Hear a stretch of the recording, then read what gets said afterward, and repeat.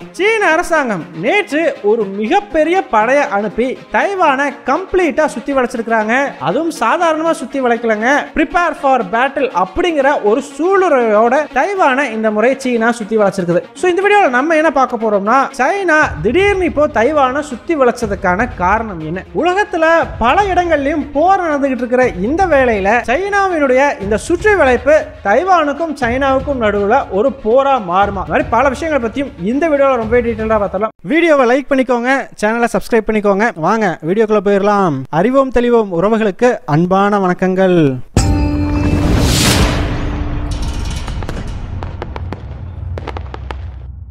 முதல் விஷயமா China Taiwan இந்த இரண்டு நாடுகளுக்கும் இடையிலான பதற்றம் மீண்டும் உச்சகட்டத்தை நெருங்க ஆரம்பிச்சிருக்குது. சீன அரசாங்கம் பார்த்தீங்கன்னா அவங்களோட ஈஸ்டர்ன் கமாண்ட் படைப்பிரிவை சேர்ந்த அனைத்து படைகளையும் தைவானை சுற்றி வளைக்கிறதுக்காக அனுப்பியிருக்கிறாங்க. இதன் விளைவா நேற்று வந்து சீன ராணுவம் கம்ப்ளீட்டாகவே தைவானை சுற்றி வளைச்சு போர் பயிற்சி அப்படிங்கிறத ஆரம்பிச்சிருக்கிறாங்க. ஸோ யூஸ்வலாகவே போர் பயிற்சிகள் ஆரம்பிக்கும் பொழுது இவ்வளவு நாட்களுக்கு இந்த பயிற்சி நீடிக்கும் அப்படிங்கிற மாதிரி ஒரு பர்டிகுலர் டேட் கொடுப்பாங்க. ஸோ நாங்கள் வந்து இவ்வளோ நாளைக்கு இந்த மிலிட்ரி எக்ஸசைஸாக பண்ண போகிறோம் அப்படின்னு சொல்லி. ஆனால் சீன அரசாங்கம் இந்த போர் பயிற்சி எவ்வளவு நாள் நீடிக்கும் அப்படிங்கிறதுக்கான எந்த விதமான டேட்டுமே கொடுக்கல. அது மட்டும் இல்லைங்க இந்த போர் பயிற்சியை ஆரம்பிக்கும் பொழுது ப்ரிப்பேர்டு ஃபார் பேட்டில் அதாவது நாங்கள் போருக்கு தயாராகிட்டோம் அப்படிங்கிற ஒரு சூளுரையோடு தான் சீன அரசாங்கம் இதை வந்து ஆரம்பித்தே வச்சிருக்கிறாங்க.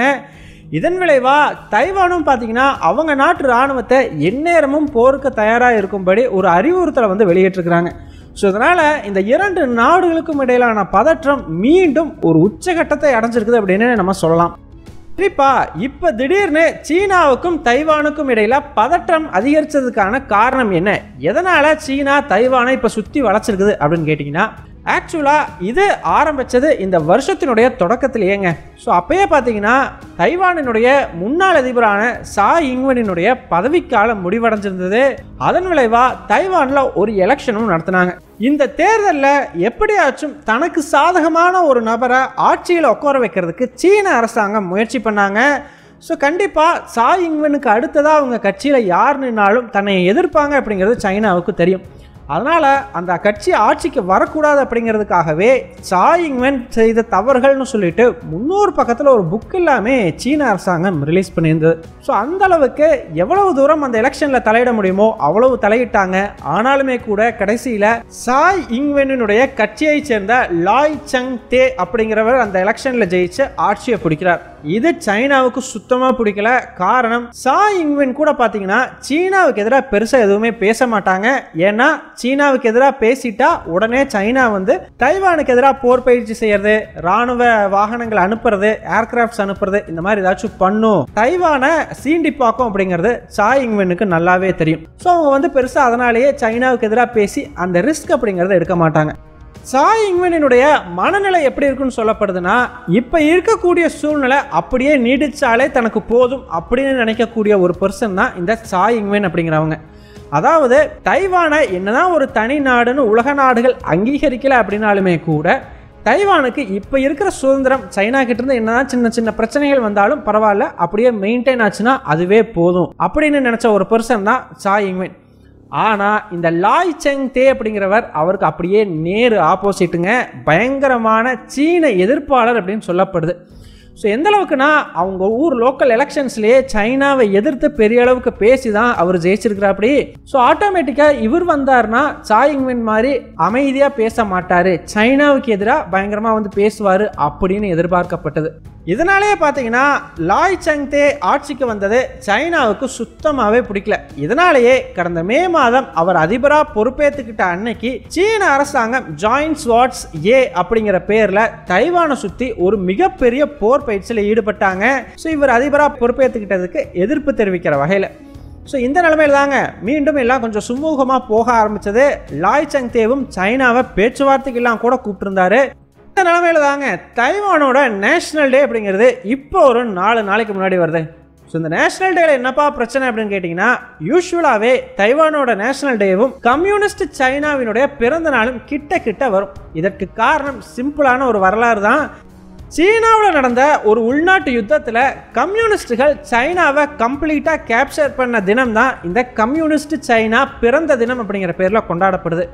அதுவே இந்த உள்நாட்டு போரில் தோற்று போனவங்க பார்த்தீங்கன்னா நேரு தைவானுக்கு தான் போனாங்க. அங்கே போயிட்டு தைவானை சுதந்திர சைனாவாக வந்து அறிவித்தாங்க ஸோ அதுதான் தைவானோட நேஷனல் டேவாக கொண்டாடப்படுது. ஸோ அதனால தான் பார்த்தீங்கன்னா இந்த ரெண்டு டேட்டும் யூஸ்வலாகவே பக்கத்தில் பக்கத்தில் இருக்கும்.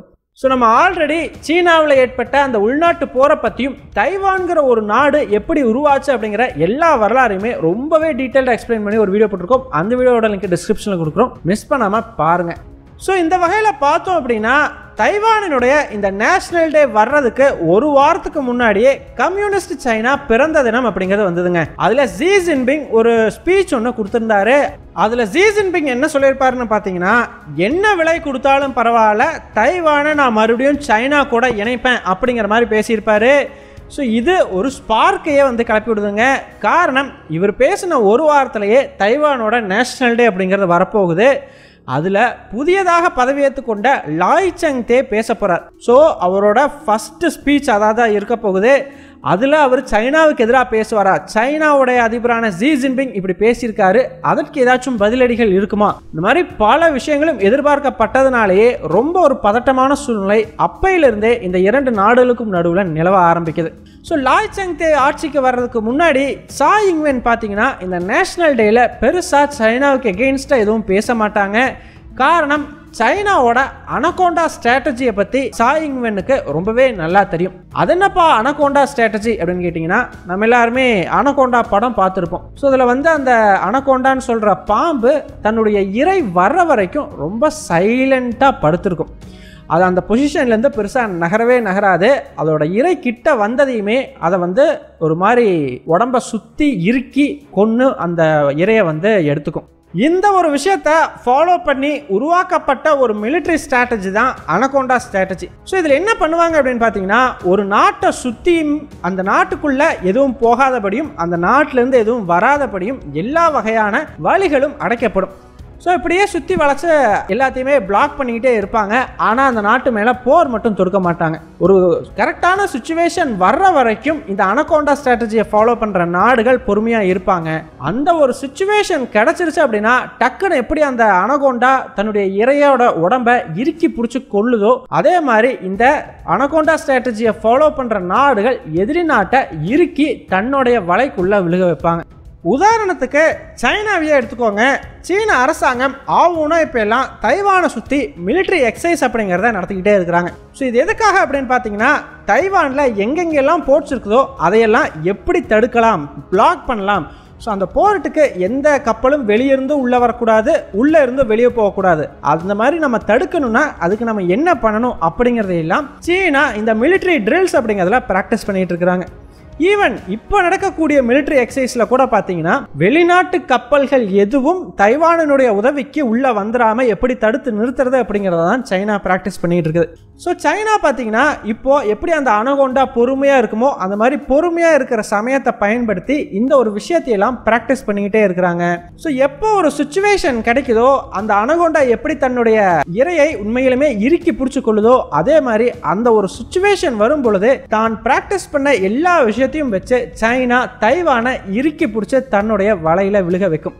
அப்போ தைவானுக்கு ஒரு ஆப்ஷன் அப்படிங்கிறதே இருக்காது. யோசிச்சு பாருங்க இப்போ வந்து பேருக்கு மிலிட்ரி எக்ஸசைஸை சைனா பண்ணிக்கிட்டு இருக்குதுன்னு தைவான் நினச்சிக்கிட்டு இருப்பாங்க. ஆனால் திடீர்னு சைனா அந்த மிலிட்ரி எக்ஸசைஸையே ஒரு வாரா கன்வெர்ட் பண்ணி தைவானை அப்படியே பிளாக் பண்ணிட்டாங்க அப்படின்னா தைவானால எதுவுமே பண்ண முடியாது இல்லையா? ஸோ தைவானினுடைய ஆர்மி சீஃபோட வார்த்தைகளில் சொல்லணும் அப்படின்னா சைனா நினச்சா எந்நேரத்தில் வேண்டுமானாலும் தைவானை சுற்றி வளைச்சு கேப்சர் பண்ணுறதுக்கு அவங்களால முடியும் அப்படின்னு அவரே வந்து மென்ஷன் பண்ணியிருக்கிறாரு. அதுக்கு காரணம் இந்த ஒரு அனகோண்டா ஸ்ட்ராட்டஜி தான். ஏன்னா தைவானை சுற்றி வளைச்சு அவங்கள கம்ப்ளீட்டாக பிளாக் பண்ணுறதுக்கு என்னவெல்லாம் பண்ணணுங்கிறது சைனாவுக்கு ரொம்ப நல்லா தெரியும். அந்த அளவுக்கு அவங்க ப்ராக்டிஸ் பண்ணியிருக்கிறாங்க. ஸோ இதைத்தான் வந்து அவர் மென்ஷன் பண்ணியிருக்கிறார்.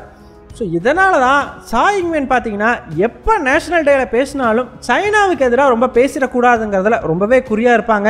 ஏன்னா சைனாவுக்கு எதிராக பேசிட்டா அதையே சாதகமாக பயன்படுத்தி தன்னுடைய நாட்டுக்கு எதிராக ஒரு பிளாக்கேடை பண்ணுறதுக்கு சைனா வந்து ப்ராக்டிஸ் பண்ண ஆரம்பிச்சிடும்ங்கிறது சாயிங்மேனுக்கு நல்லா தெரியும். ஸோ அந்த ஒரு வாய்ப்பை சைனாவுக்கு கொடுக்கக்கூடாது அப்படிங்கிறதுல அவங்க ரொம்ப தெளிவாக இருந்தாங்க.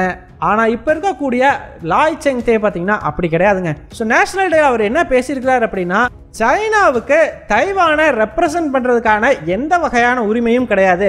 ஸோ சைனாவும் தைவானும் ஒருத்தருக்கு ஒருத்தர் ஈக்குவலே தவிர ஒருத்தருக்கு ஒருத்தர் சளைச்சவங்க கிடையாது. அதாவது சைனாங்கிறது ஒரு தனி நாடு. அதற்கு ஈக்குவலான ஒரு என்டிட்டி தான் இந்த தைவான் அப்படிங்கிற மாதிரி அவர் மென்ஷன் பண்ணுறாரு அது மட்டும் இல்லை ஜீ ஜின்பிங் வந்து எக்காரணம் கொண்டும் என்ன ச- விலை கொடுத்தாலும் தைவானை நான் இணைச்சே தீர்வுன்னு சொல்லியிருந்தார் இல்லையா? அதற்கு பதிலடியாக தைவானினுடைய இறையாண்மையை காக்கிறதுக்கு நான் என்னவெல்லாம் பண்ணணுமோ அதெல்லாம் நான் பண்ணுவேன் அப்படிங்கிற மாதிரி லாய் செங்தே பேசியிருந்தார். கம்ப்ளீட்டாக பார்த்தீங்கன்னா சைனாவுக்கு எதிராக வந்து அந்த நேஷனல் டேல அவர் பேசியிருந்தாரு. இது சைனாவுக்கு சுத்தமாக பிடிக்கல. ஸோ ஆட்டோமேட்டிக்காக இப்போ ஜாயின்ட் ஸ்வாட்ஸ் பி அப்படிங்கிற பேரில் ஒரு மிகப்பெரிய மிலிட்ரி எக்ஸசைஸ் அப்படிங்கிறத தைவானை சுற்றி ஆரம்பிச்சிருக்கிறாங்க. லாய் சங் தேவுக்கு சைனா கொடுக்குற மெசேஜ் ரொம்பவே கிளியருங்க சைனாவுக்கு எதிராக ஏதாச்சும் பேசுனா அதுவும் முக்கியமாக பொதுவெளிகளில் பேசுனா கண்டிப்பாக அதற்கான பலன்களை நாங்கள் உங்களுக்கு கொடுத்தே தீர்வோம். இந்த மாதிரி வந்து மிலிட்ரி எக்ஸசைஸ்லாம் பண்ணுவோம் அப்படிங்கிற மாதிரியான ஒரு மிரட்டலை விடுத்திருக்கிறார். ஸோ இந்த மாதிரி மிரட்டல் விடுத்து விடுத்து தான் சா இங்வென்னை பொதுவெளிகளில் சைனாவுக்கு எதிராக பேச விடாமையே சீன அரசாங்கம் பல ஆண்டுகளாக தடுத்து நிறுத்தியிருந்தாங்க. ஸோ அதே ஒரு விஷயத்தை தான் இப்போ லாய் செங் தேக்கிட்டையும் சைனா ட்ரை பண்ணுது. ஆனால் லாய் சங் தே சாயிங்வின் மாதிரி கிடையாது. ரொம்பவே வந்து சைனாவினுடைய எதிர்ப்பாளர். ஸோ அவங்கள மாதிரி ரொம்ப அமைதியான ஒரு பர்சனும் கிடையாது. ரொம்பவே அட்டாக் பண்ணி பேசக்கூடிய ஒரு பர்சன் அப்படிங்கிற மாதிரி சொல்லப்படுது. இதனாலேயே பார்த்தீங்கன்னா சைனாவுக்கும் தைவானுக்கும் இடையில இப்போ இருக்கக்கூடிய நிலைமை இன்னுமே மோசமடையலாம். லாய் செங் தேவினுடைய ஆட்சி காலத்துக்குள்ளே ஏதாவது ஒரு பெரிய சம்பவம் நடந்தாலும் ஆச்சரியப்படுறதுக்கு இல்லை அப்படிங்கிற மாதிரி சொல்கிறாங்க ஸோ ஃபைனலாக நீங்கள் என்ன நினைக்கிறீங்க? சைனாவுக்கு எதிராக லாய் சங் தேவினுடைய அதிரடி அவருக்கு கை கொடுக்குமா? இல்லை இது சைனாவுக்கும் தைவானுக்கும் இடையில ஒரு போர் ஏற்படுறதுக்கு வழி அமைச்சு கொடுக்குமா? உங்களுடைய கருத்துக்கள் என்ன அப்படிங்கிறத மறக்காம கமெண்ட்ஸ் சொல்லுங்க. எங்கள் டெலிகிராம் சேனல் லிங்க் டிஸ்கிரிப்ஷனில் கொடுக்குறோம். இன்ட்ரெஸ்ட் இருக்கிறவங்க ஜாயின் பண்ணிக்கோங்க. ரொம்ப முக்கியமான செய்திகள் அதில் பகிரப்படும். வீடியோ பிடிச்சிருந்ததுன்னா லைக் பண்ணிக்கோங்க சப்ஸ்கிரைப் பண்ணிக்கோங்க. இதன் மூலமாக எங்களுடைய வீடியோஸ் இன்னும் நிறைய பேர்த்துக்கு போய் சேரும். முடிஞ்சா உங்களுடைய ஃப்ரெண்ட்ஸுக்கிட்டையும் நிறைய ஷேர் பண்ணிக்கோங்க. இது எங்களுடைய உழைப்புக்கு நீங்கள் கொடுக்குற ஒரு ரிவார்டாக இருக்கும். நன்றி.